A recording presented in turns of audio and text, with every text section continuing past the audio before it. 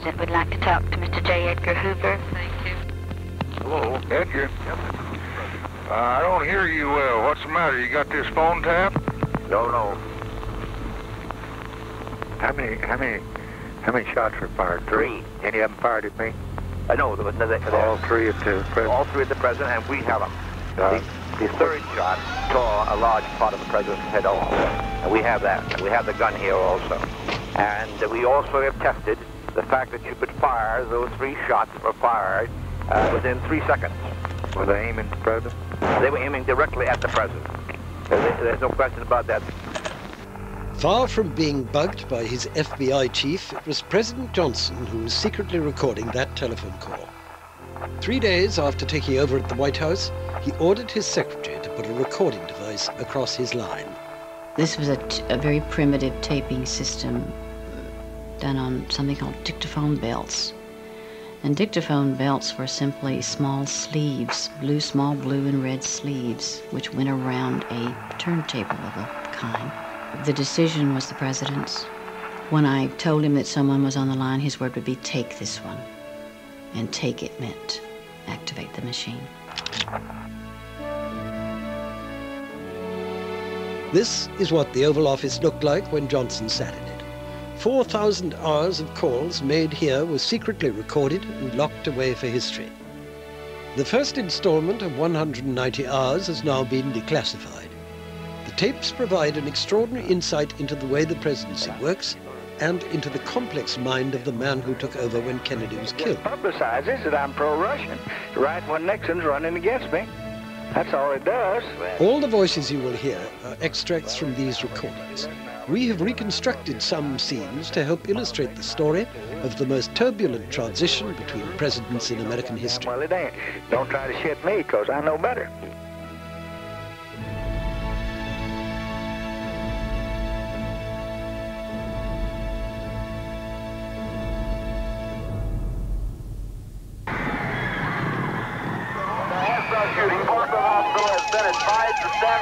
A severe gunshot wound. I repeat, a shooting in the motor. Hello, I've got some dictation for you on the uh, Kennedy story. Yeah, where are you, Tom? I'm in Dallas. Hey, this is Dallas, November 22nd. President, President John F. Kennedy was shot and killed here today, period. Lyndon B.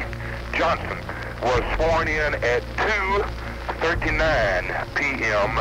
Central Standard Time as the 36th President of the United States. Period. Paragraph. Air Force One, understand. Airborne uh, 1725 Zulu. Do you have an ETA? Over. Johnson demanded that he take the presidential oath without delay. A conversation recorded later reveals why. He thought the Kremlin might have ordered the assassination, that other killings might follow, and that American government must be seen to be functioning. And I thought that, uh, it was a conspiracy. What raced through my mind was that if they had shot our president driving down there, who would they shoot next? And what would they? What was going on in Washington? And when would the missiles be coming? Aboard Air Force One, Mrs. Jacqueline Kennedy stayed at the rear of the plane, close to the coffin. Johnson, sitting further forward in the president's seat, made several telephone calls. One was to Rose Kennedy, the dead president's mother. Uh, Break Crown Air Force One, uh, volunteer requesting a patch with Mrs. Rose uh, Kennedy as soon as possible. Go ahead. Miss Kennedy? Yes, yes, Mr. President.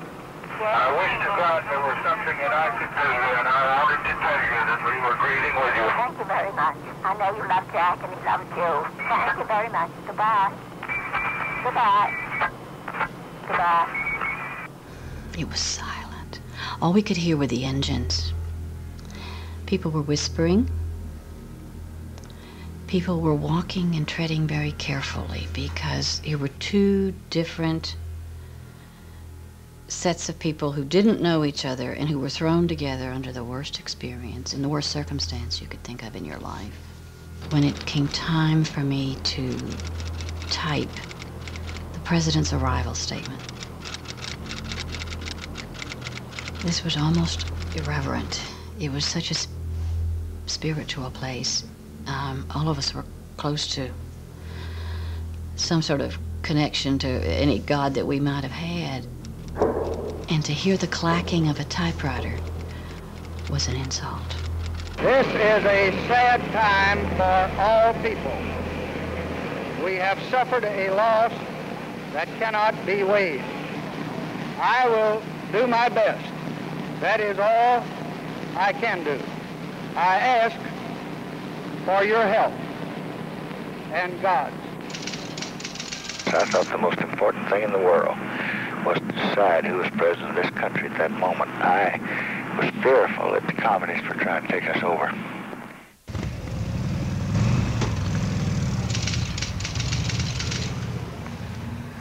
Johnson's determination to show that he was in charge caused friction between the personal aides he was bringing in and the existing White House staff. It started early next morning at the doors of the Oval Office. And at 8.30, LBJ came in and said to me, Miss Lincoln, would you come into the office with me? I walked in the Oval Office. He said, uh, I need you more than you need me. He said, Would, could you get all of this, all of the Kennedy uh, possessions out of the Oval Office, your office, and the cabinet room by nine o'clock? I went to Bobby, and Bobby just could not understand it. I felt resented. Um, we were dealing with a staff which is decimated. There was nobody to tell us, here are the telephones, the restrooms are down the hall, and you get a coffee down there. We were different, and we were in their space. This was their home, their White House. They had worked to get elected there. We did not belong there, and they had lost their best friend. They hurt ripe field for disagreement. In those first few days, Johnson suspected Robert Kennedy of making mischief. Here were two strong willed, ambitious men, one unable to accept the consequences of his brother's death, the other determined not to allow the Kennedy mystique to undermine his own rightful authority as the new president. Philosophically, every way, his brother's loss was devastating to him. He was never the same person afterwards. And yet he had to carry on not only his duties as Attorney General of the United States, but his duties as the leader of the Kennedy family, succeeding the leader who had fallen. And that meant that many people were already talking about him running for president. It meant many people were trying to stir animosity against Lyndon Johnson and, and use him and bring him into it. So, of course, there was a Bobby problem, as Lyndon Johnson called it. Uh, also, they detested each other. But Johnson needed the younger Kennedy to stay on as Attorney General, at least for now. Three days into the new presidency, Johnson's recording machine was up and running, and it reveals how Johnson kept Kennedy on board. He asked Clark Clifford, a man they both could trust, to be an intermediary. Clark Clifford on 9-2. Yes, Clark. Uh, Mr. President? Yes. I've just finished a, a two-hour session with Bobby. Yeah. And um, first I want to say uh, he's going to stay. Okay. Uh, we we really had it out, mm. and uh, we we covered it all, and um, I think uh, there's some arguments that he found unanswerable, mm. and uh, uh, I'm I'm just authorized to say now that, that he's going to stay. I, He's going to have a talk with you, and I ought to have a talk with you first. And um, it's a relationship that I, I, I think is exceedingly important, and, and it's one that we ought to look at together. All right. An even more intriguing call was put through to J. Edgar Hoover, head of the FBI. The Kennedys had kept Hoover at arm's length, dangerous as a rattlesnake, he'd once been called. But that wasn't Johnson's style. He wanted to keep Hoover inside the tent, as this creepy little exchange shows. You're more than the head of the Federal Bureau, as far as I'm concerned. You're my brother and personal friend, and you have been for 25, 30 years. I got more confidence in your judgment than anybody in town. And I certainly appreciate your confidence. Well, thank you. Thank you. What you'll hear next is part of a personal briefing Hoover gave the president five days after the assassination. we hoped to have this thing wrapped up today, but uh, the bubble top was not up. But the bubble top wasn't worth a damn anyway because it made entirely of, of plastic. And uh, much to my surprise, the Secret Service do not have any armored cars. Do you uh, do you have a, a bulletproof car? Well, yes, I do. Yes, you I think do. I ought to have one? I think you most certainly should have one. Most certainly should. I think you've got to recognize, you've got to really almost be in the, in the capacity of a so-called prisoner. They went on to talk about Jack Ruby, or Rubenstein, killing Oswald. All because, according to Hoover, the Dallas police were trying to please the television networks by parading Oswald before the cameras. The chief of police admits that he uh, moved him in the morning uh, as a convenience and at the request of the motion picture people who wanted to have daylight. Now, uh, this fellow Rubenstein is a, is a very shady character. He likes to be in the limelight. He knew all the police. That's how I think he got into police headquarters, and for that reason raised no, no question. I thought they, they never made any moves as, as the pictures show, even when they saw him approaching this, uh, this fella, and got up right to him and pressed his pistol against, uh, against Oswald's stomach. Uh, uh, neither of the police officers on either side made any move to push him away or to grab him. Have you got any uh, any relationship between the two yet? Uh, between uh, Rubenstein? Yeah. No, at the present time we have not.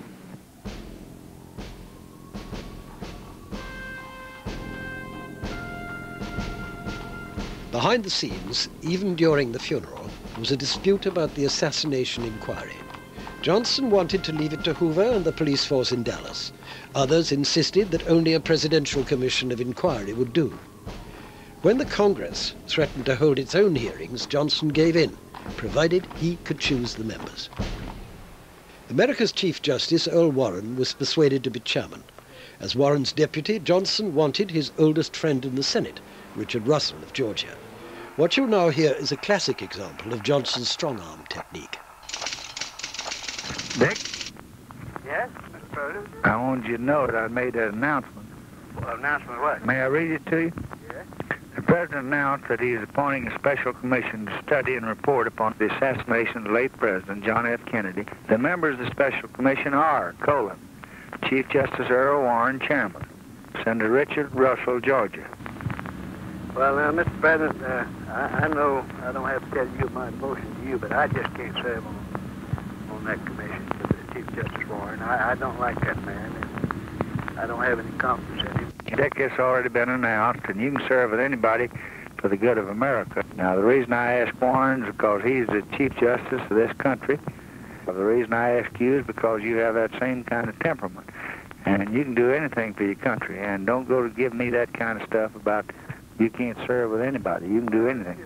You never turned your country down? You, well, this is not me. This is your country. You're my man on that commission, and you're going to do it.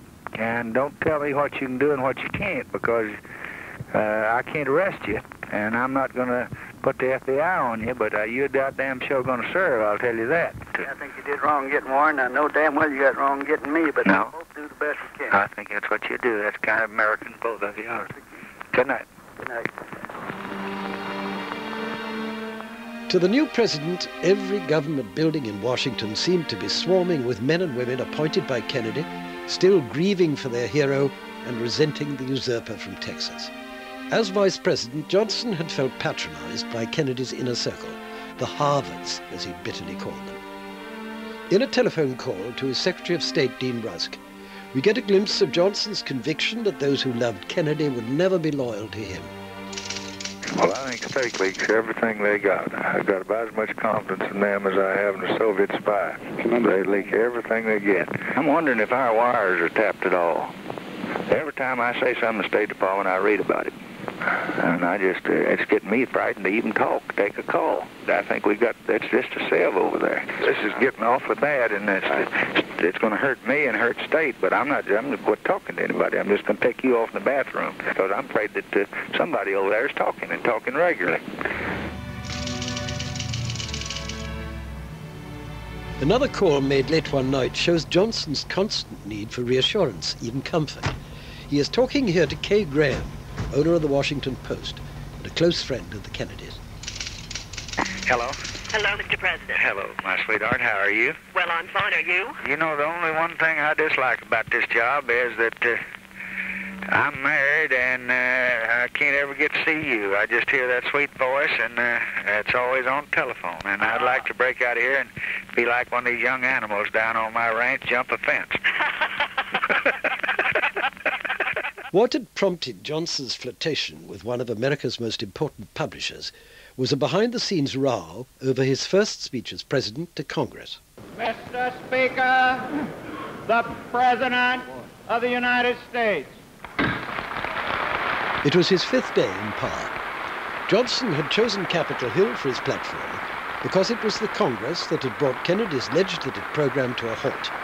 93 bills marooned in committees and now waiting for the Johnson treatment to turn them into law. On the 20th day of January in 1961, John F. Kennedy told his countrymen, let us begin. Today, in this moment of new resolve, I would say to all my fellow Americans, let us continue.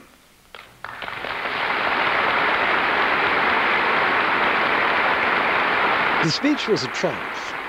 Only insiders knew that a nasty little backstage squabble had preceded its delivery. Johnson had asked Ted Sorensen, a Kennedy favorite, to write the speech.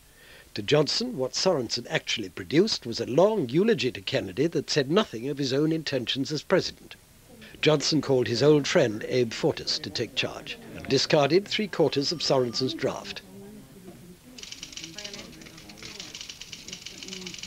I recall we had one hell of a time because uh, Sorensen guarded his uh, prose with uh, the zeal of a samurai warrior. But I remember riding over to the Capitol. I know Sorensen was in the car. And in his hands, he was clasping into his bosom, was the three-ring binder in which was enclosed the speech of the president before that joint session. Uh, he made it clear he wasn't going to let anybody, maybe not even the president, look at that speech again until he put it on the rostrum so that nobody could uh, make a substitution. Johnson was not accustomed to insubordination. He wanted to make sure the press had his side of the story, hence the call to Kay Graham. It's so difficult. I, I just, uh, it was tragic the other night. I could have just blown everything and fallen on my head. It was uh, such agony that I haven't recovered from it. I know. Uh, I've got uh, all these temperamental people, and they all go and cry, and they say, well, uh, Abe Fortas uh, put this paragraph in and took my paragraph out. You know, the speech that came in was a, a great tribute to a great man. But Congress expected a little something else. They wanted to know how I was going to stand on these things, and I had to say so. And I had to say action now. But, but he, can, uh, he did it to me going up to deliver it. We spent the whole time arguing, and I said, well, you've got 80% of your stuff in there. Uh, he was just unforgivable, and yet I think that we all have to just imagine how he feels, and that he's a man who doesn't, instead of crying, he, he did this really naughty trick, but of, of being cantankerous and hurt, because he had that peculiar relationship with President Kennedy. Well, I, I and, uh, done as much as I can without have any pride and self-respect left. Johnson's call didn't heal any wounds. The ghost of John Kennedy would continue to haunt his presidency. Mr. Smith, 2191. Margaret? Mr. President. Lyndon Johnson, how are you? Well, I'm fine, thank you. Capitol Hill had been the love of Lyndon Johnson's life. Now, in the Oval Office, he was lonely, missing his old companions. But there was always the telephone. I just wanted to call you and tell you I loved you, and I didn't have anything to talk to you about except I missed seeing you there on that front row. Well, come on up and see us. Well, I wish I could, but they won't let me get over there, and uh, they got a big rock wall around me down here, and I'm going to have to get you to crawl under it. now, you behave yourself. I will. Because that, uh, that's the most important at the moment. You're doing a wonderful job. We want you to keep on doing it. I'm going to do the best I can, honey. I'm going to do the best I can. I'm just going to do what I think's best every day, and I appreciate uh, talking to you, and I'll see you soon. Bye, dear. The telephone became his Excalibur, his great weapon. Because a couple of times I'd say, Mr. President, maybe we ought to have him some congressman or somebody come in and talk to you in your local office for a personal visit. And I said, it'll be a very brief visit, believe me, a few minutes. He said, Jack, by the time that somebody comes in here and tells me how smart he is and what he wants and scratches his ass, I've lost 15 to 25 minutes. Johnson always said that a president has two years at the most to impose his will on Congress. Immediately after Kennedy's death, he'd held the country together and earned its respect. Now he wanted action, and that meant rousing the Senate from its habitual lethargy. He called one of the Senate elders, John Stennis of Mississippi. Senator Stennis on the phone. John, you try to get those folks up there to go to work. People are laughing at him. The b- b- barbers are talking about it. I got a haircut, and the barber said, "What in God's world happened to Congress?" Yeah, well. That they paid on an annual basis, and they haven't. They took off. Uh, they took off two weeks for Thanksgiving. Now they want off three weeks for Christmas. Said I just get off one day for each. Get them to work some, John. Tell them you'll stay there at night if they need to. I never saw. He was a tornado on a leash. He was a human being, a man of great extremes. He could be very, very kind. He could be very, very angry and very, very cruel. He had trouble with his anger. Where do I put this thing? It's, you could, it was almost as if you could see the man with this ball of anger and he didn't know where to put it. And woe to the person who was near. Well, I've been. He'd give us three billion two in compensation. He's a damn old. And I've got to run the foreign policy of the country. Then there was the so-called Johnson treatment, an ability to dominate, charm, and shock. His staff could never be sure what he'd say next. I reached an agreement with McClellan on the transportation bill. I brought it back to Johnson. I was very happy. I said, Mr. President, I've got an agreement. I've got the, we got a deal, we got a bill. And I described the agreement to him. And Johnson said, open your fly. And I kind of laughed. He said, open your fly. He said, there's nothing in there. He said, John McClellan just took that off with a razor so thin you didn't even feel it. He picks up the phone. He calls John McClellan. He says, John, he says, uh, you got Joe Califano's pecker up there, and you're, he said, and I want him to come up there and get it back. We can't agree to a deal like this. We got to have another kind of deal. And I went back up there, and we had another kind of deal that was much more acceptable to Johnson. He was a man of ferocious energy. He often went to sleep at 2 a.m. and was up by 6. And he demanded the same dedication from everyone around him. It was a marathon. The, the days would go from 8 in the morning until sometimes 3 at night. I always teased him, and I said that, you, that he, cut, he cut two words out of every dictionary in the White House. The first word was vacation. We never even knew what that meant. And the other was sleep, because we got so little of it. And so if we didn't know the definitions, we wouldn't ask for it. One day he couldn't reach me, and he said, Where were you? And I didn't know where I was, but I just needed some peace and quiet. I said, I was in the bathroom. The next day, there was a phone in the bathroom. To cope with all the activity he generated, Johnson doubled his staff of female secretaries and made them work in shifts.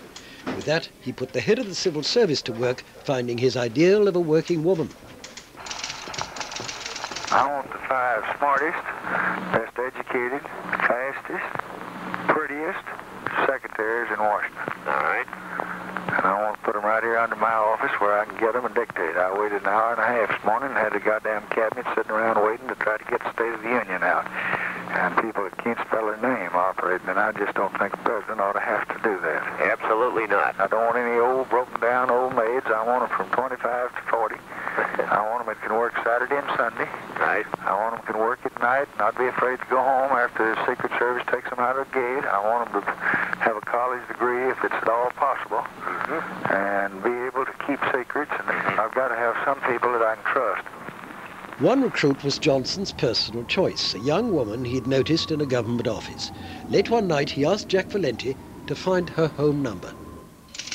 Hello? Where are you? I'm at home. Who's this? This is the president. Oh. What are you doing? Oh, I think someone's playing with me. No, no, you know, I won't talk to you about our work, honey. Where are you, at home? Oh, yes, I am. Are you busy? No, I'm not. Can you come down here immediately? Oh, I'll be glad to. Come down. I've got Jack Valenti here, and we want to talk to you about a little reassignment. Ron Split speaking. This is Jack Valenti speaking. Yes, sir. Would you send a car to pick up uh, Miss Whittington? Miss Whittington? Yes. Yes, sir. Thank you very much. Right. It's just 10:45 at night, but he says, "I want to visit with you." He didn't mean 9 o'clock tomorrow morning or 2 o'clock tomorrow afternoon. He meant now. She called me and um, said that we had to have lunch that day. And she told me what had happened. And she was um, almost in shock. And she said, What's up? I said, He wants a black secretary. But if I were you, I'd grab it, but I'd be leery and wary because he is a Vesuvius of a man. So now, the President's visitors to the Oval Office, including all those crusty old senators from America's deep south, would walk past a black girl on their way to see the chief. But how to make it public? Parade his discovery before the White House press? No, too blatant. Johnson had a better idea. Now let's all play What's My Line? And now to meet our first challenger. And uh, we'll let the audience in the theater and the audience at home know exactly what your line is.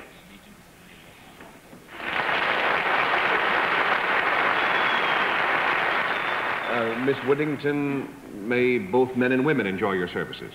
Yes. Miss Whittington, does your service require any physical dexterity of any kind? Yes. Well, do you work for a non-profit making organization?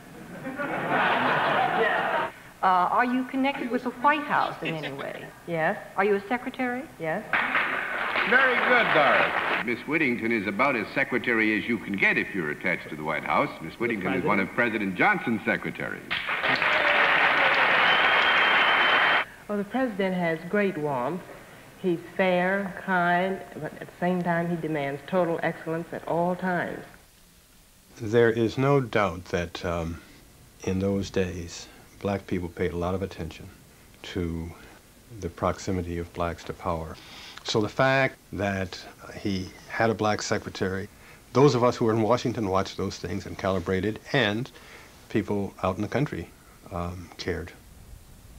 It was a tiny step in an uphill climb towards Johnson's number one objective, to enact a civil rights bill that would guarantee black Americans access to thousands of places that had excluded them for nearly a hundred years, shops, hotels, restaurants. It was the bill Kennedy had failed to get through Congress. Johnson believed America was ready for change, and that he was the man with the political muscle to force the Congress to give in. We have talked long enough in this country about equal rights. We have talked for a hundred years or more. It is time now to write the next chapter and to write it in the books of law. Johnson craved praise. In the next two hours, he made 33 telephone calls asking, How did I do? Nearly every call was to someone whose approval he knew he could count on. This one is typical. It's to Adam Clayton Powell, the black congressman from Harlem. Did I do all right on civil rights? My friend, it was unequivocally the finest that uh, I said to, it was more than I hoped for. And it was the finest that anyone could say. Forthright, it was really wonderful. You, you were at your best today. Absolutely superb. I don't know when you got the time to do it, though. Well, they had 34, you, got, you all were gunners. You had 34 applauses in 24 minutes. I know you have good ghost ghostwriters, but, brother, that was Lyndon Baines Johnson. That wasn't any ghost ghostwriter. That speech was absolutely magnificent. The new president had a special relationship with Congress. He sent a small army of aides to Capitol Hill. I'd tell a senator or a congressman, Mr. Congressman, Senator, the president must have your vote. And I want to tell you that if you give it to him, he will always remember. But if you don't, he'll never forget. He now made a personal call to Dr. Martin Luther King to say the civil rights movement had an ally in the Oval Office. But I won't tell you how grateful I am and how, how worthy I'm going to try to be of all your hopes. Well, thank you very much. I'm so happy to hear that. I think one of the great uh, tributes that we can pay in memory of President Kennedy is to try to enact some of the great uh, progressive policies that he sought to initiate. Well, I'm going to support them all, and you can count on that, and I'm going to do my best to get other men to do likewise, and I'll have to have y'all's help. Then Johnson telephoned the more radical black leaders, men like James Farmer of CORE, the Congress of Racial Equality. Farmer had never spoken to a president. The phone rang, and um, uh, southern female voice said, uh, Mr. Farmer? I said, uh, yes. Mr. James Farmer? I said, yes. I said, hold the line for the president. Well, naturally, I started to uh, say, uh, President or what? And uh, Lyndon Johnson's voice came on the telephone. Um, he said, Mr. Farmer, now we are going to have to to um, pick up the ball and not move that ball and let's go and go right on through to that goal line and then not ever we might get run out of bounds time or two, but uh, keep coming. And uh, went down to see him in Washington.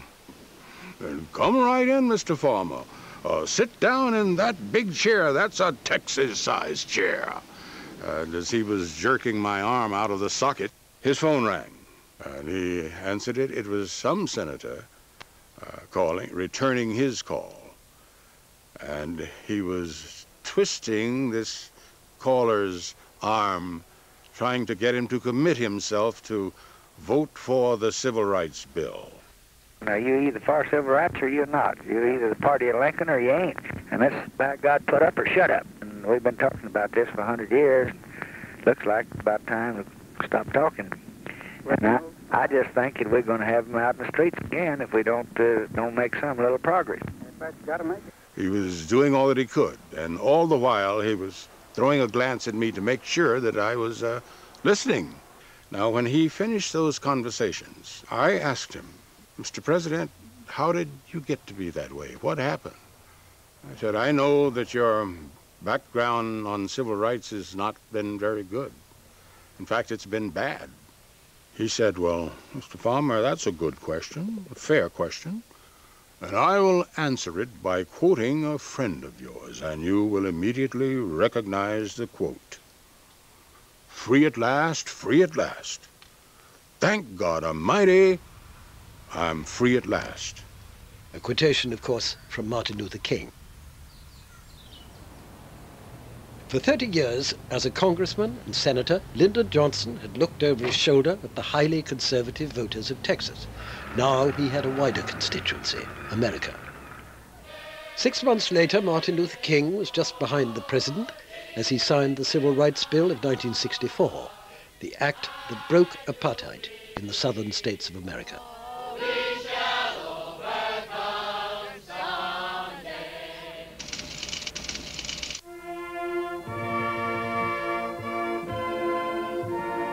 Thirty days and a few hours ago, John Fitzgerald Kennedy died a martyr's death.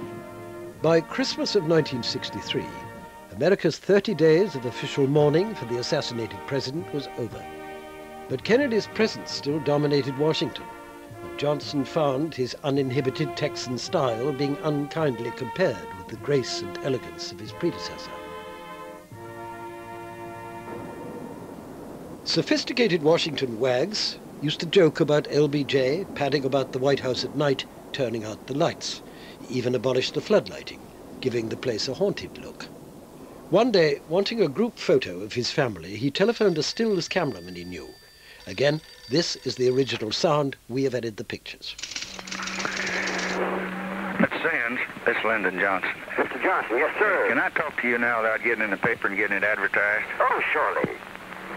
Uh, if not, I won't talk to somebody else, but I hope I can. But I don't want it in any of these columns now, and I don't want it to get out. And I give you my solemn word as a gentleman. All right. Now, uh, I'm a poor man. I don't make much money, but I got a wife and a couple of daughters and uh, four or five people that run around with me, and I like the way you make them look. This is your country, and I want to see what you want to do about it. Now, how can you come down here and make them look better? Uh, I, I just have to live off of a, a paycheck, and I'm in debt. But I want to, I want to see if you can't come and uh, uh, bring whoever you need, and we'll pay their transportation, but we can't pay you much else. Mr. Johnson, don't even worry about that. right, goodbye. Thank you. Goodbye, sir. Actually, Johnson was a rich man, but he never paid for the pictures. He was instinctively frugal, even parsimonious. He always had been, from his days as a teacher in the small town of Cotulla on the Mexican border. This was a man who lived through the Depression. He saw poverty. The Mexican children that he first saw and taught came to school hungry. He knew the value of a dollar, and he worked hard for the for the dollar. He thought. Um, one of the more amusing things I, I well, he he recycled styrofoam cups by washing them, and Mrs. J would be upset if she heard me say that. But that's he he felt a styrofoam cup should not be thrown away. You wash it and use it again. Attacking poverty was another Kennedy idea, but Kennedy had only observed poverty in middle age while campaigning in West Virginia, and he put little political effort into the program to eliminate it. Johnson had seen it in close-up from his youth.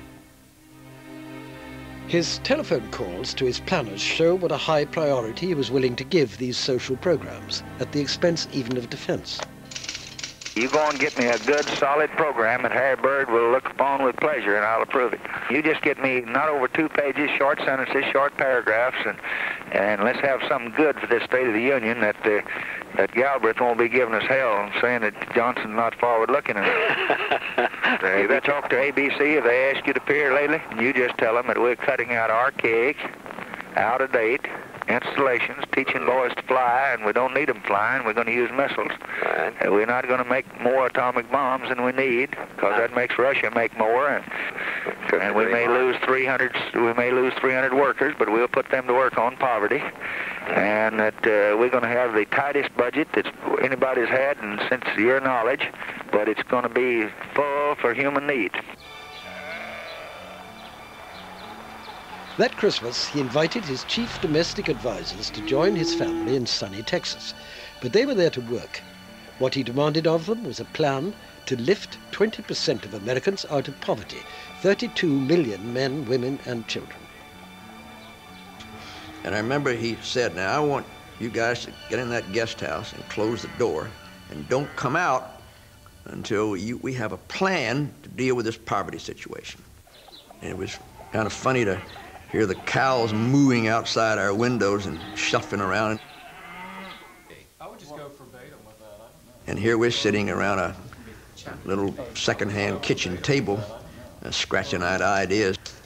And uh, we worked several days in there, and we came out with a name, The War on Poverty, and the outlines of the plan. And this administration today, here and now, declares unconditional war on poverty in America. He had some fundamental beliefs.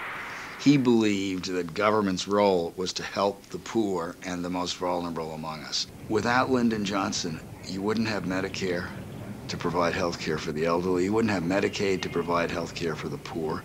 You wouldn't have this flush of civil rights legislation, which has changed the politics of the United States of America in many, many states. It was an incredible onrush of legislation. It changed this country. We have a right to expect a job, to provide food for our families, a roof over their head, an opportunity to have our children educated. And with your support and with your help, we will have it in America. Thank you.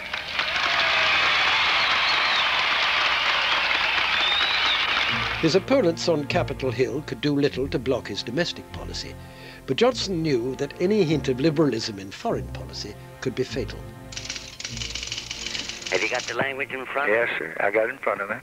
Oh. And it oughtn't to be in there, and it's just a damn... Agency on national in connection with the purchase in the... That's right. Johnson is talking here to a congressman from Texas, Albert Thomas, about American grain sales to Russia.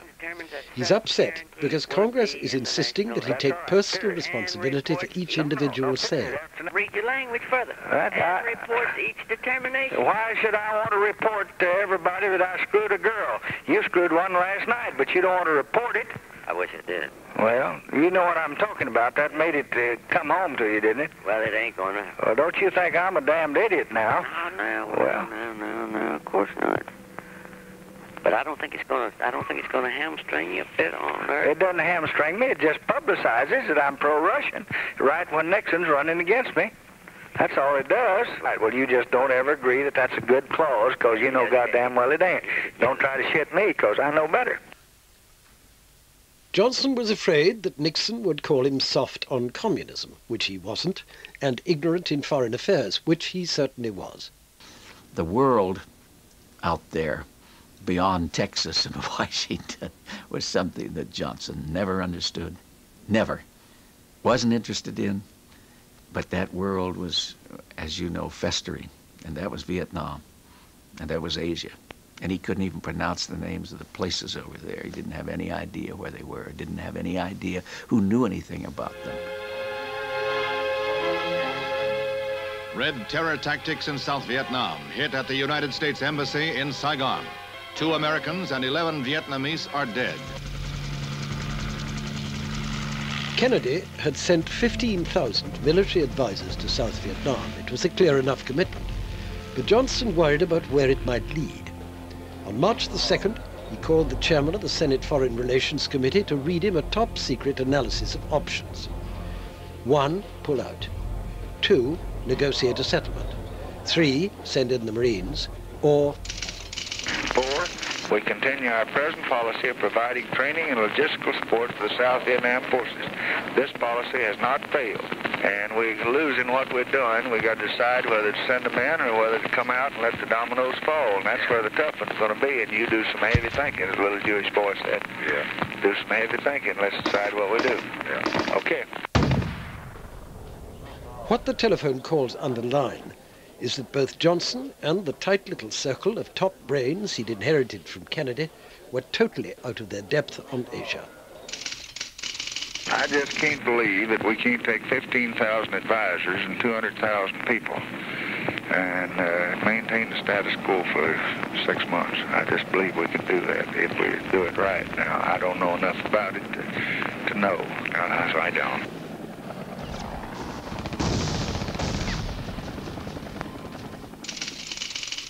you think it's a mistake to explain what I'm saying now about Vietnam and what we're faced with? Well, I, I do think, Mr. President, that it'd be wise for you to say as little as possible. I, the, the, the frank answer is we don't know what's going on out there. Saying as little as possible to the media was one thing. Johnson's problem was how he said it. To get the American people behind him, he had to be good on television, and he wasn't. Who is the father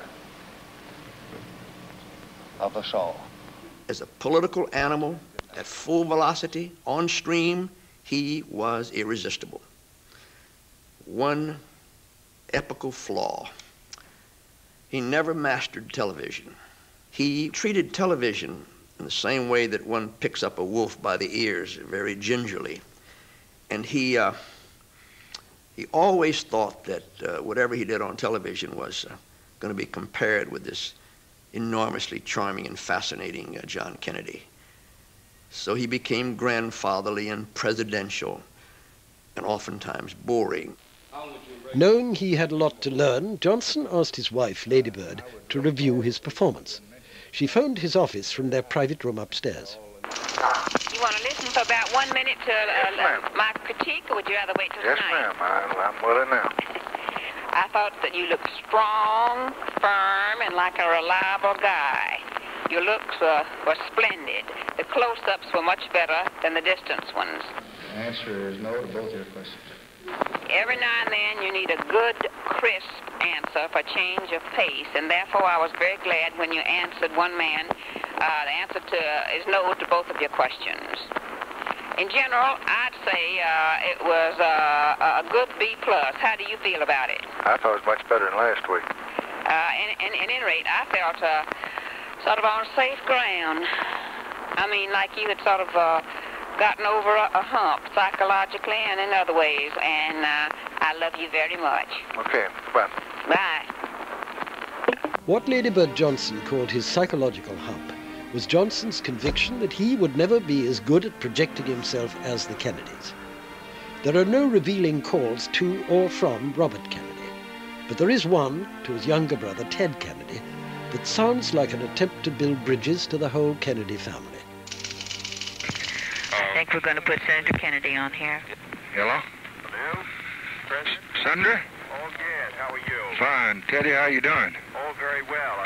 I uh, saw your TV yesterday, and the president would have been so proud of you, and I was, and I just thought you hit a home run, and I wanted you to know how much I thought of it. Well, that's very, very uh, kind of you, uh, Mr. President. The last thing he would want us to do is to wind up disagreeing with each other.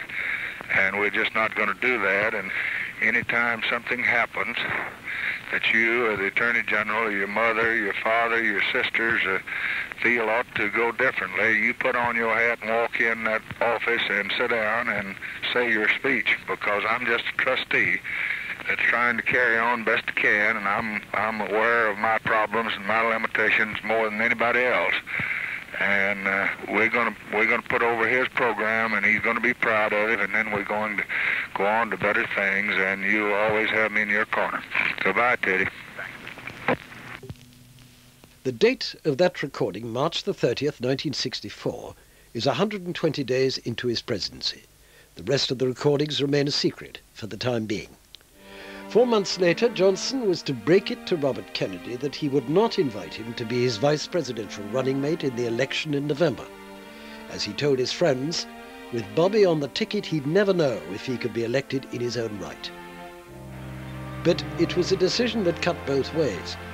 His landslide victory in 1964 was his own. But later, when American boys were dying in Vietnam, Senator Robert Kennedy would be free to oppose him. By 1968, Robert Kennedy's opposition had become an obsession. By chance, five recordings from this period have also emerged. Listen to how the Johnson tone has changed. I believe that Bobby is having his governors jump on me, and he's having his mayors, and he's having his Negroes, and he's having his Catholics, and he's having them just systematically one after the other each day. All of it makes Bobby look like a great hero and makes me look like a son of a bitch, and 95% of it is completely fabricated.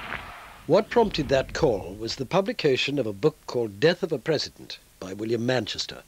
To Johnson, it was one of several books grossly distorting his behavior in the aftermath of Kennedy's assassination. My feeling on the Manchester book is I do not believe that we are equipped to cope with this. So I think they're going to write history as they want it written. I want my posture to be that we know what happened from our own knowledge of what happened, but we not let another human know it. I don't want to debate with him. I don't think the president of this country at this time ought to. I think it's just unthinkable that my whole morning be spent on this kind of stuff. Yes, sir. And I think that we've had a bunch of traitors and kids and things in there that just uh, just uh, have brought it about. And I think that practically nearly every one of the Kennedy folks uh, have contributed to it. One year later, Robert Kennedy announced that he was running against Johnson for the presidency. Those who bear the responsibility for our present course, they are the ones. The President of this United States, President Johnson, they are the ones who divide this country. For Lyndon Johnson, it was a private nightmare come true. When he knew that Bobby had come into the race, um, the thought of Bobby being there, and he could see that Bobby was out maneuvering, and he was sure that Bobby was going to be the real contender.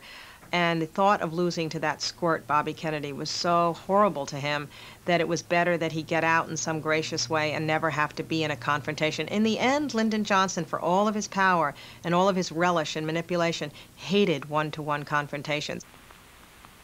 I shall not seek, and I will not accept the nomination of my party for another term as your president. Thank you for listening. Good night, and God bless all of you.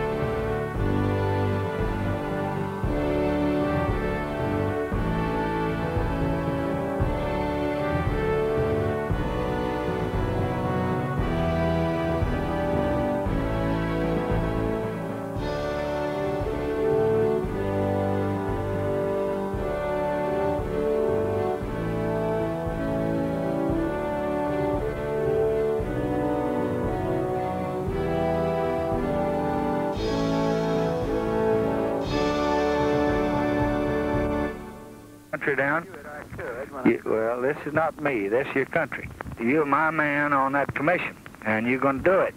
And don't tell me what you can do and what you can't, because uh, I can't arrest you, and I'm not going to put the FBI on you, but uh, you're goddamn sure going to serve, I'll tell you that. I think you did wrong getting Warren. I know damn well you got wrong getting me, but No. we both do the best we can. I think that's what you do. That's kind of American, both of you are. Good night. Good night. To the new president, every government building in Washington seemed to be swarming with men and women appointed by Kennedy, still grieving for their hero and resenting the usurper from Texas. As vice president, Johnson had felt patronized by Kennedy's inner circle, the Harvards, as he bitterly called them. In a telephone call to his Secretary of State, Dean Rusk, we get a glimpse of Johnson's conviction that those who loved Kennedy would never be loyal to him. Well, I think State leaks everything they got. I've got about as much confidence in them as I have in a Soviet spy. They leak everything they get. I'm wondering if our wires are tapped at all. Every time I say something in the State Department, I read about it. And I just, uh, it's getting me frightened to even talk, take a call. I think we got, that's just a sieve over there. This is getting awfully bad, and it's, it's going to hurt me and hurt State, but I'm not, I'm going to quit talking to anybody. I'm just going to take you off in the bathroom because I'm afraid that uh, somebody over there is talking and talking regularly. Another call made late one night shows Johnson's constant need for reassurance, even comfort. He is talking here to Kay Graham, owner of the Washington Post, and a close friend of the Kennedys. Hello. Hello, Mr. President. Hello, my sweetheart. How are you? Well, I'm fine. Are you? You know, the only one thing I dislike about this job is that uh, I'm married and uh, I can't ever get to see you. I just hear that sweet voice and uh, it's always on telephone. And I'd like to break out of here and be like one of these young animals down on my ranch, jump a fence.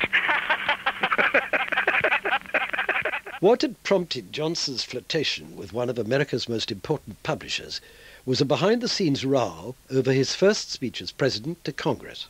Mr. Speaker, the President of the United States. It was his fifth day in power. Johnson had chosen Capitol Hill for his platform because it was the Congress that had brought Kennedy's legislative program to a halt. 93 bills marooned in committees and now waiting for the Johnson treatment to turn them into law. On the 20th day of January in 1961, John F. Kennedy told his countrymen, let us begin. Today, in this moment of new resolve, I would say to As the new president. Philosophically, every way, his brother's loss was devastating to him. He was never the same person afterwards. And yet he had to carry on not only his duties as Attorney General of the United States, but his duties as the leader of the Kennedy family, succeeding the leader who had fallen. And that meant that many people were already talking about him running for president. It meant many people were trying to stir animosity against Lyndon Johnson and, and use him and bring him into it. So, of course, there was a Bobby problem, as Lyndon Johnson uh, called it. Uh, Also, they detested each other. But Johnson needed the younger Kennedy to stay on as Attorney General, at least for now. Three days into the new presidency, Johnson's recording machine was up and running, and it reveals how Johnson kept Kennedy on board. He asked Clark Clifford, a man they both could trust, to be an intermediary. Clark Clifford on line two. Yes, Clark. Uh, Mr. President? Yes. I've just finished a, a two-hour session with Bobby. Yeah. And um, first I want to say uh, he's going to stay. Good. Uh, we we really had it out, Hmm. and uh, we we covered it all, and um, I think uh, there's some arguments that he found unanswerable, and uh, uh, I'm I'm just authorized to say now that, that he's going to stay. Uh, he's going to have a talk with you, and I ought to have a talk with you first. And um, it's a relationship that I, I I think is exceedingly important, and and it's one that we ought to look at together. All right. An even more intriguing call was put through to J. Edgar Hoover, head of the FBI. The Kennedys had kept Hoover at arm's length, dangerous as a rattlesnake, he'd once been called. But that wasn't Johnson's style. He wanted to keep Hoover inside the tent, as this creepy little exchange shows. You're more than the head of the Federal Bureau as far as I'm concerned. You're my brother and personal friend, and you have been for 25, 30 years. I got more confidence in your judgment than anybody in town. And I certainly appreciate your confidence. Well, thank you. Thank you. What you'll hear next is part of a personal briefing Hoover gave the president five days after the assassination. We hope to have this thing wrapped up today, but uh, the bubble top was not up. But the bubble top wasn't worth a damn anyway because it made entirely of, of plastic. And uh, much to my surprise, the Secret Service do not have any armored cars.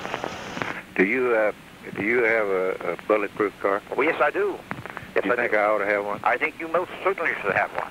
Most certainly should. I think you've got to recognize, you've got to really almost be in the, in the capacity of a so-called prisoner. They went on to talk about Jack Ruby. And he said, Where were you? And I didn't know where I was, but I just needed some peace and quiet. I said, I was in the bathroom. The next day, there was a phone in the bathroom. To cope with all the activity he generated, Johnson doubled his staff of female secretaries and made them work in shifts. With that, he put the head of the civil service to work finding his ideal of a working woman. I want the five smartest, best educated, fastest, prettiest secretaries in Washington. All right. And I want to put them right here under my office where I can get them and dictate. I waited an hour and a half this morning and had the goddamn cabinet sitting around waiting to try to get the State of the Union out. And people that can't spell their name operating, and I just don't think a president ought to have to do that. Absolutely not. I don't want any old, broken down old maids. I want them from 25 to 40. I want them that can work Saturday and Sunday. Right. I want them that can work at night, not be afraid to go home after the Secret Service takes them out of the gate. I want them to have a college degree if it's at all possible, Mm-hmm. and be able to keep secrets. And mm-hmm. I've got to have some people that I can trust. One recruit was Johnson's personal choice, a young woman he'd noticed in a government office. Late one night, he asked Jack Valenti to find her home number. Jack, Hello? Where are you? I'm at home. Who's this? This is the president. Oh. What are you doing? Oh, I think someone's playing with me. No, no, you know, I won't talk to you about our work, honey. Where are you at home? Oh, yes, I am. Are you busy? No, I'm not. Can you come down here immediately? Oh, I'll be glad to. Come down. I've got Jack Valenti here, and we want to talk to you about a little reassignment. Garage Bliss speaking. This is Jack Valenti speaking. Yes, sir. Would you send a car to pick up uh, Miss Whittington? Miss Whittington? Yes. Yes, sir. Thank you very much. All right. It's just 10:45 at night, but he says I want to visit with you. He didn't mean nine o'clock tomorrow morning or two o'clock tomorrow afternoon. He mean now. She called me and um, said that we had to have lunch that day. And she told me what had happened. And she was um, almost in shock. And she said, What's up? I said, He wants a black secretary. But if I were you, I'd grab it, but I'd be leery and wary because he is a Vesuvius of a man. So now, the president's visitors to the Oval Office, including all those crusty old senators from America's deep south, would walk past a black girl on their way to see the chief. But how to make it public? Parade his discovery before the White House press? No, too blatant. Johnson had a better idea. Now let's all play What's My Line? And now to meet our first challenger. And uh, we'll let the audience in the theater and the audience at home know exactly what your line is. As a teacher in the small town of Cotulla on the Mexican border. This was a man who lived through the Depression. He saw poverty. The Mexican children that he first saw and taught came to school hungry. He knew the value of a dollar, and he worked hard for the, for the dollar, he thought. Um, one of the more amusing things that I, I well, he, he recycled styrofoam cups by washing them. And Mrs. J would be upset if she heard me say that. But that's he, he felt a styrofoam cup should not be thrown away. You wash it and use it again. Attacking poverty was another Kennedy idea, but Kennedy had only observed poverty in middle age while campaigning in West Virginia, he put little political effort into the program to eliminate it. Johnson had seen it in close-up from his youth. His telephone calls to his planners show what a high priority he was willing to give these social programs, at the expense even of defense. You go and get me a good, solid program that Harry Byrd will look upon with pleasure, and I'll approve it. You just get me not over two pages, short sentences, short paragraphs, and and let's have something good for this State of the Union that uh, that Galbraith won't be giving us hell and saying that Johnson's not forward-looking enough. Have you talked to ABC? Have they asked you to appear lately? You just tell them that we're cutting out archaic, out-of-date installations, teaching boys to fly, and we don't need them flying. We're going to use missiles.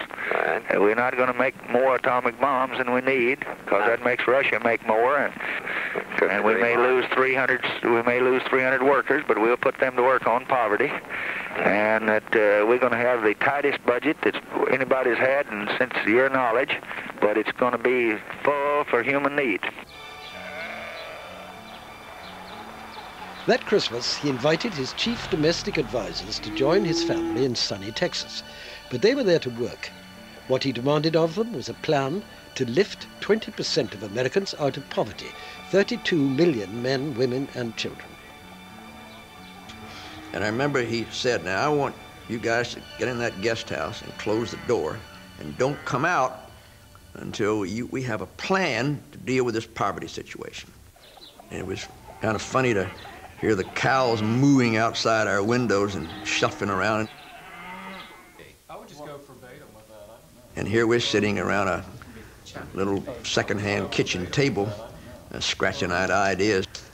And uh, we worked several days in there, and we came out with a name, The War on Poverty, and the outlines of the plan. And this administration today, here and now, declares unconditional war. Philosophically, every way, his brother's loss was devastating to him. He was never the same person afterwards.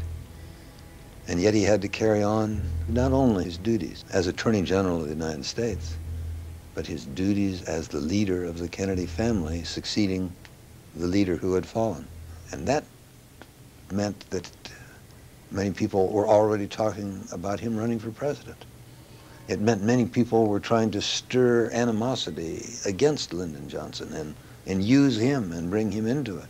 So, of course, there was a Bobby problem, as Lyndon Johnson uh, called it. Uh, Also, they detested each other. But Johnson needed the younger Kennedy to stay on as Attorney General, at least for now. Three days into the new presidency, Johnson's recording machine was up and running, and it reveals how Johnson kept Kennedy on board. He asked Clark Clifford, a man they both could trust, to be an intermediary. Clark Clifford on line two. Yes, Clark. Uh, Mr. President? Yes. I've just finished a, a two-hour session with Bobby. Yeah. And um, first I want to say uh, he's going to stay. Okay.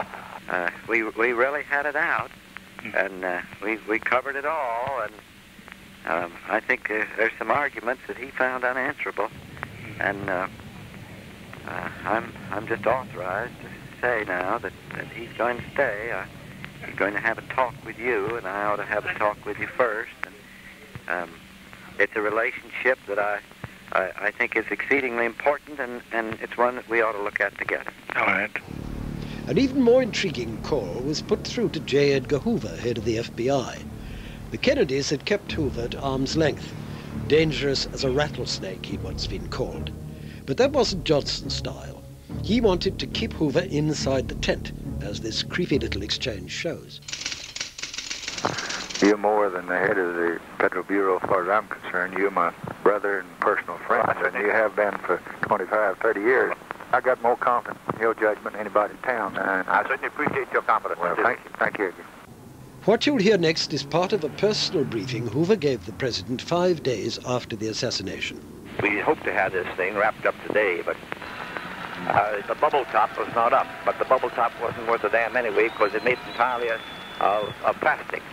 And uh, much to my surprise, the Secret Service do not have any armored cars. Do you uh, do you have a, a bulletproof car? Well, yes, I do. Yes, you I think do. I ought to have one? I think you most certainly should have one. Most certainly should. I think you've got to recognize, you've got to really almost be in the, in the capacity of a so-called prisoner. They went on to talk about Jack Ruby, or Rubenstein. Bill. I brought it back to Johnson. I was very happy. I said, Mr. President, I've got an agreement. I've got the, we got a deal, we got a bill. And I described the agreement to him. And Johnson said, open your fly. And I kind of laughed. He said, open your fly. He said, there's nothing in there. He said, John McClellan just took that off with a razor so thin you didn't even feel it. He picks up the phone. He calls John McClellan. He says, John, he says, uh, you got Joe Califano's pecker up there, and you're, he said, and I want him to come up there and get it back. We can't agree to a deal like this. We got to have another kind of deal. And I went back up there, and we had another kind of deal that was much more acceptable to Johnson. He was a man of ferocious energy. He often went to sleep at 2 a.m. and was up by 6. And he demanded the same dedication from everyone around him. It's a marathon. The, the days would go from 8 in the morning until sometimes 3 at night. I always teased him and I said that, you, that he, cut, he cut two words out of every dictionary in the White House. The first word was vacation. We never even knew what that meant. And the other was sleep, because we got so little of it. And if we didn't know the definitions, we wouldn't ask for it. One day he couldn't reach me, and he said, Where were you? And I didn't know where I was, but I just needed some peace and quiet. I said, I was in the bathroom. The next day, there was a phone in the bathroom. To cope with all the activity he generated, Johnson doubled his staff of female secretaries and made them work in shifts. With that, he put the head of the civil service to work finding his ideal of a working woman. I want the five smartest, best educated, fastest, prettiest secretaries in Washington. All right. And I want to put them right here under my office where I can get them and dictate. I waited an hour and a half this morning and had the goddamn cabinet sitting around waiting to try to get the State of the Union out. And people that can't spell their name operating, and I just don't think a president ought to have to do that. Absolutely not. I don't want any old, broken down old maids. I want them from 25 to 40. I want them that can work Saturday and Sunday. Right. I want them that can work at night, not be afraid to go home after the Secret Service takes them out of the gate. I want them to have a college degree if it's at all possible, mm-hmm. Mm-hmm. and be able to keep secrets. And I've got to have some people that I can trust. One recruit was Johnson's personal choice, a young woman he'd noticed in a government office. Late one night, he asked Jack Valenti to find her home number. Jack, Hello? Where are you? I'm at home. Who's this? This is the president. Oh. What are you doing? Oh, I think someone's playing with me. No, no, you know, I want to talk to you about our work, honey. Where are you at home? Oh, yes, I am. Are you busy? No, I'm not. Can you come down here immediately? Oh, I'll be glad to. Come down. I've got Jack Valenti here, and we want to talk to you about. was irresistible. One epical flaw. He never mastered television. He treated television in the same way that one picks up a wolf by the ears, very gingerly. And he, uh, he always thought that uh, whatever he did on television was uh, going to be compared with this enormously charming and fascinating uh, John Kennedy. So he became grandfatherly and presidential and oftentimes boring. Knowing he had a lot to learn, Johnson asked his wife, Lady Bird, to review his performance. She phoned his office from their private room upstairs. You want to listen for about one minute to uh, my critique, or would you rather wait till Yes, tonight? ma'am. I, I'm willing now. I thought that you looked strong, firm, and like a reliable guy. Your looks uh, were splendid. The close-ups were much better than the distance ones. The answer is no to both your questions. Every now and then you need a good, crisp answer for change of pace, and therefore I was very glad when you answered one man. Uh, the answer to is no to both of your questions. In general, I'd say uh, it was uh, a good B plus. How do you feel about it? I thought it was much better than last week. Uh, in, in, in any rate, I felt uh, sort of on safe ground. I mean, like you had sort of uh, gotten over a, a hump psychologically and in other ways. And uh, I love you very much. Okay, bye. Bye. What Lady Bird Johnson called his psychological hump was Johnson's conviction that he would never be as good at projecting himself as the Kennedys. There are no revealing calls to or from Robert Kennedy, but there is one to his younger brother, Ted Kennedy, that sounds like an attempt to build bridges to the whole Kennedy family. I think we're going to put Senator Kennedy on here. Hello? Hello? President? Senator? All good. How are you? Fine. Teddy, how are you doing? All very well.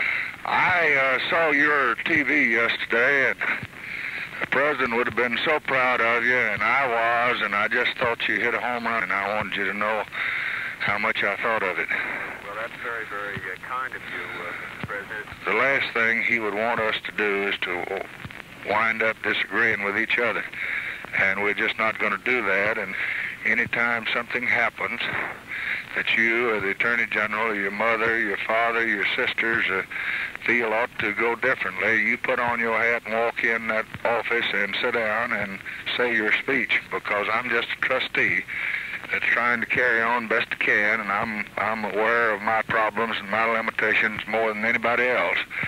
And uh, we're gonna we're gonna put over his program and he's gonna be proud of it and then we're going to go on to better things. I can do. I ask for your help and God's.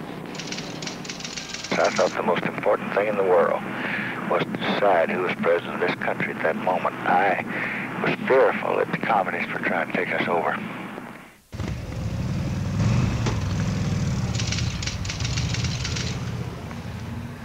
Johnson's determination to show that he was in charge caused friction between the personal aides he was bringing in and the existing White House staff.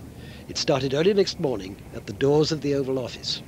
And at 8.30, LBJ came in and said to me, Miss Lincoln, would you come into the office with me? I walked in the Oval Office. He said, uh, I need you more than you need me.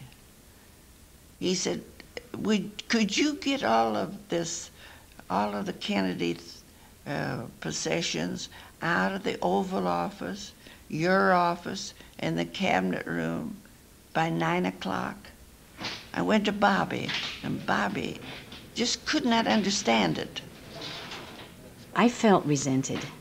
Um, we were dealing with a staff which is decimated. There was nobody to tell us, here are the telephones, the restrooms are down the hall, and you get a coffee down there. We were different, and we were in their space. This was their home, their White House. They had worked to get elected there. We did not belong there, and they had lost their best friend. They hurt. Right field for disagreement. In those first few days, Johnson suspected Robert Kennedy of making mischief. Here were two strong-willed, ambitious men, one unable to accept the consequences of his brother's death, the other determined not to allow the Kennedy mystique to undermine his own rightful authority as the new president. Philosophically, every way, his brother's loss was devastating to him. He was never the same person afterwards. And yet he had to carry on not only his duties as Attorney General of the United States, but his duties as the leader of the Kennedy family, succeeding the leader who had fallen. And that meant that many people were already talking about him running for president. It meant many people were trying to stir animosity against Lyndon Johnson and, and use him and bring him into it. So, of course, there was a Bobby problem, as Lyndon Johnson uh, called it. Uh, also, they detested each other. But Johnson needed the younger Kennedy to stay on as Attorney General, at least for now. Three days into... Get you to crawl under it. now, you behave yourself. I will. Uh, because that, uh, that's the most important at the moment. You're doing a wonderful job. We want you to keep on doing it. I'm going to do the best I can, honey. I'm going to do the best I can. I'm just going to do what I think's best every day, and I appreciate uh, talking to you, and I'll see you soon. Bye, dear. The telephone became his Excalibur, his great weapon. Because a couple of times I'd say, Mr. President, maybe we ought to have him, some congressman or somebody, come in and talk to you in your local office for a personal visit. And I said, it'll be a very brief visit, believe me, a few minutes. He says, Jack, by the time that somebody comes in here and tells me how smart he is and what he wants and scratches his ass, I've lost 15 to 25 minutes. Johnson always said that a president has two years at the most to impose his will on Congress. Immediately after Kennedy's death, He'd held the country together and earned its respect. Now he wanted action, and that meant rousing the Senate from its habitual lethargy. He called one of the Senate elders, John Stennis of Mississippi. Senator Stennis on the phone. John, you try to get those folks up there to go to work. People are laughing at him. The b- b- barbers are talking about it. I got a haircut, and the barber said, "What in God's world happened to Congress?" Yeah, well. That they paid on an annual basis, and they haven't. They took off. Uh, they took off two weeks for Thanksgiving. Now they want off three weeks for Christmas. Said I just get off one day for each. Get them to work some, John. Tell them you'll stay there at night if they need to. I never saw. He was a tornado on a leash. He was a human being, a man of great extremes. He could be very, very kind. He could be very, very angry and very, very cruel. He had trouble with his anger. Where do I put this thing? And so you could, it was almost as if you could see the man with this ball of anger and he didn't know where to put it. And woe to the person who was near. Well, I've been. He'd give us three billion to in Congress, and he's a damn liar. And I've got to run the foreign policy of the country. Then there was the so-called Johnson treatment, an ability to dominate, charm, and shock. His staff could never be sure what he'd say next. I reached an agreement with McClellan on the transportation bill. I brought it back to Johnson. I was very happy.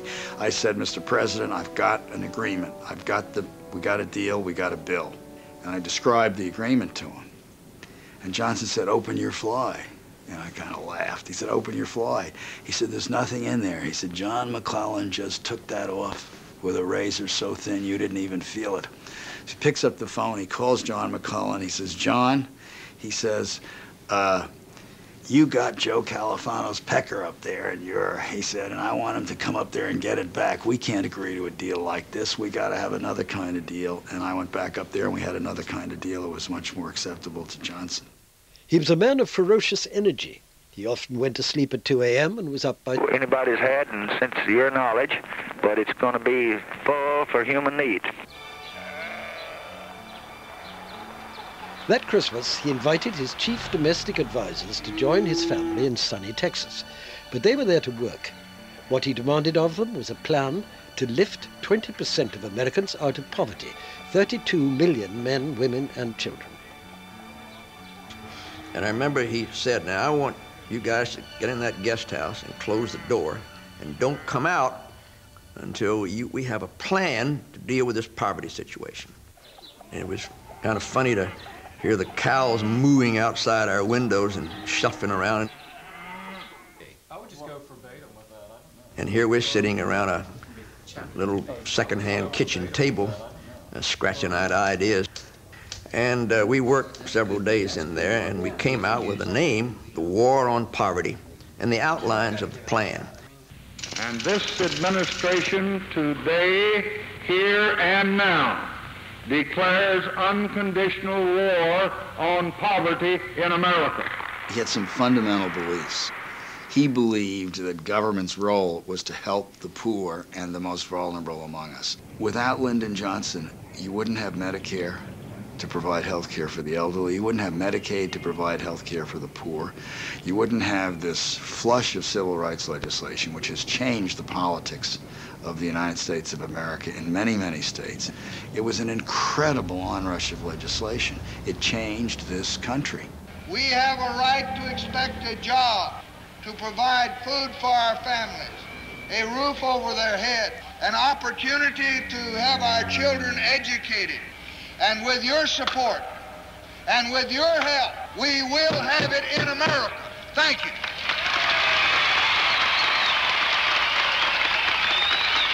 His opponents on Capitol Hill could do little to block his domestic policy, but Johnson knew that any hint of liberalism in foreign policy could be fatal.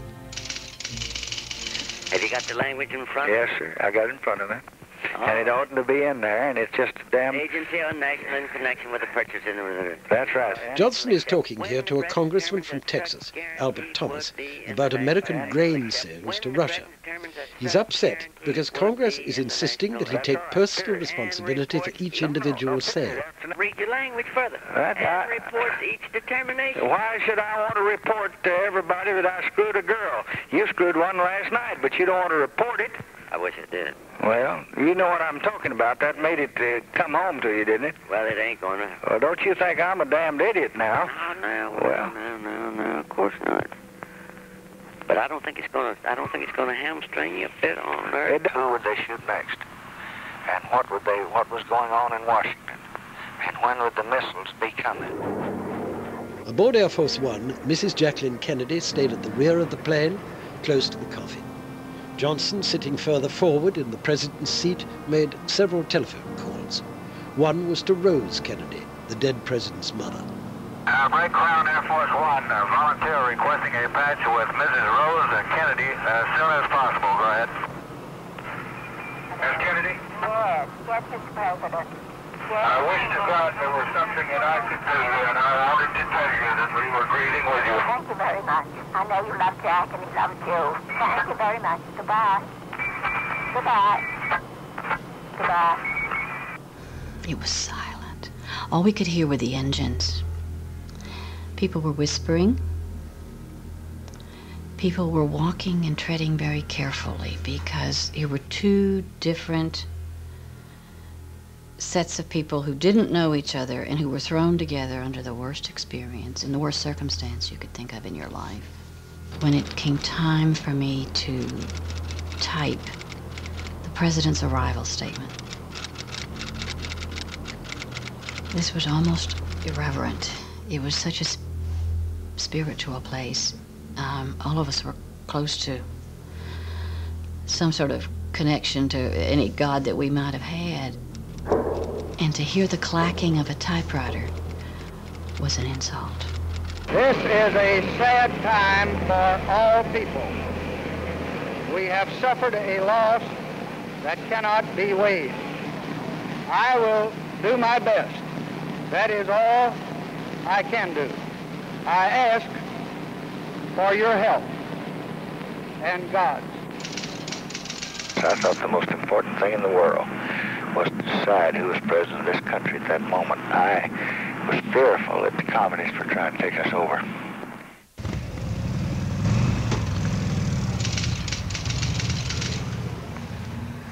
Johnson's determination to show that he was in charge caused friction between the personal aides he was bringing in and the existing White House staff.